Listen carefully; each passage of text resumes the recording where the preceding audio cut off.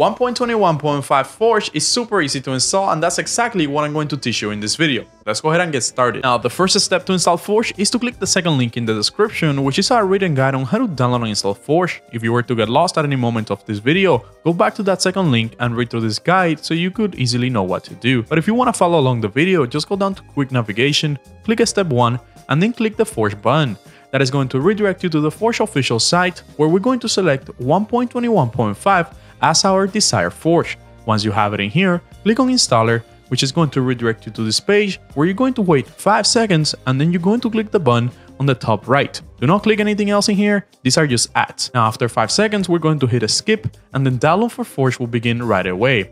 After you download the Forge installer, I want you to go ahead and drag and drop it into your desktop, just like so. Now with the Forge installer file in our desktop, you will notice that this is a jar file. And as you can see, mine doesn't even have an icon, which means that I'm not to be able to open the Forge installer because I'm missing a crucial component. That crucial component is Java 21.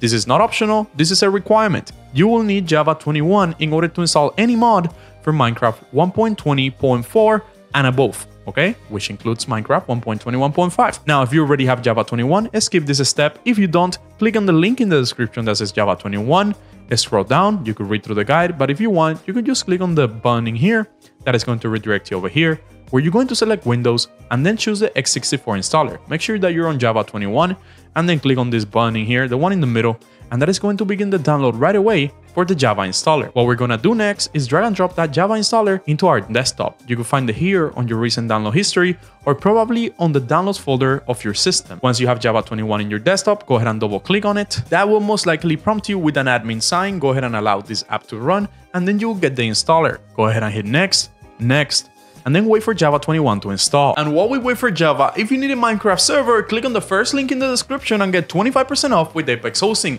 Apex Hosting will not only let you create servers all around the world so you don't have to worry about lagging, but they actually support over 200 mod packs, as well as individual mods. Of course, if you want to run a server for Forge, you're more than welcome too. Now, the cool thing is that you can install all these mod packs with just a click of a button.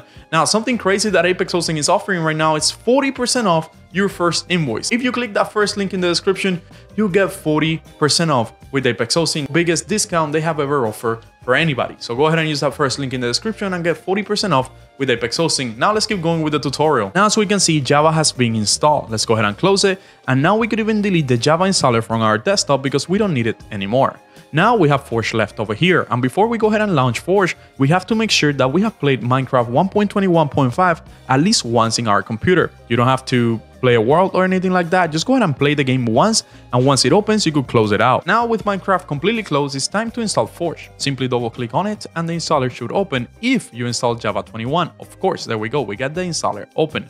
Now what you're going to do in here is select install client and then hit OK and wait for Forge to install. Once Forge has been installed, you'll get this prompt in here. Go ahead and hit OK and you can now delete this text file as well as the installer of Forge. Now go ahead and open your Minecraft launcher. If you install Forge properly, you should see Forge selected automatically down here in this arrow. As you can see, we have Forge 1.21.5. You could also head over to installations, make sure that you have modded selected because without modded, you simply won't see Forge in here. If that doesn't fix it for you, you could click on new installation, head over to version and type Forge, and then select Forge 1.21.5, name it whatever you want, and then click create here or install down here on the bottom right. Now we have Forge. How do you add mods to Forge, you might ask? Adding mods to Forge is extremely easy. The first thing you want to do is go ahead and click on this folder that appears when you hover over Forge in the installations tab. Go ahead and open that installations folder, and that is going to open a bigger folder that has a lot of files as well as a couple of folders. Now in here, we're looking for a specific folder called mods, and as you can see, I don't have a mods folder, which is totally okay. If you don't have a mods folder, just like I don't, go ahead and click on new, click folder and name that folder mods, M-O-D-S. Once you have that mods folder, go ahead and open it. In here, you're going to add any mods that you want to use with your Forge instance. A popular website for downloading mods is CurseForge as well as Modrinth, and I'm gonna go ahead and download one mod from CurseForge so I could try it. Make sure whenever you download a mod that it matches your game version, which in this case is 1.21.5, and that it also matches your mod loader, which in this case is Forge. So whenever you find the mod that you want, go ahead and click on the three dots if you're using CurseForge and click download file, and wait 5 seconds for that mod to download. If you want to download the same mod as me, you'll find Journey Map linked in the description of this video. Now, once you have downloaded your mod, you'll find it here on your recent download history. Go ahead and drag and drop it into the mods folder that we had created earlier. You should see a mod appearing here that has this icon, which means that Java has been installed properly. If you're not sure if this is a jar file, you could click on View, Show, and then make sure that you're seeing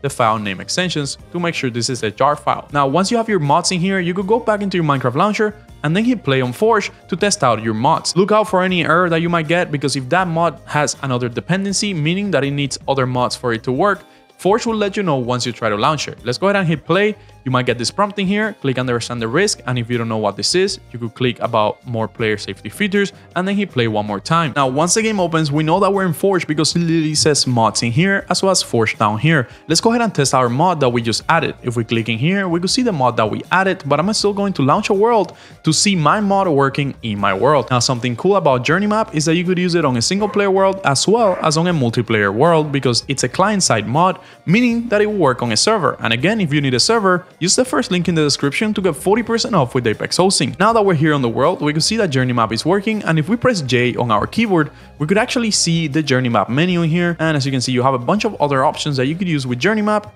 to be able to customize it as you like. And if you were able to install Forge 1.21.5, don't forget to subscribe and as always, bye bye.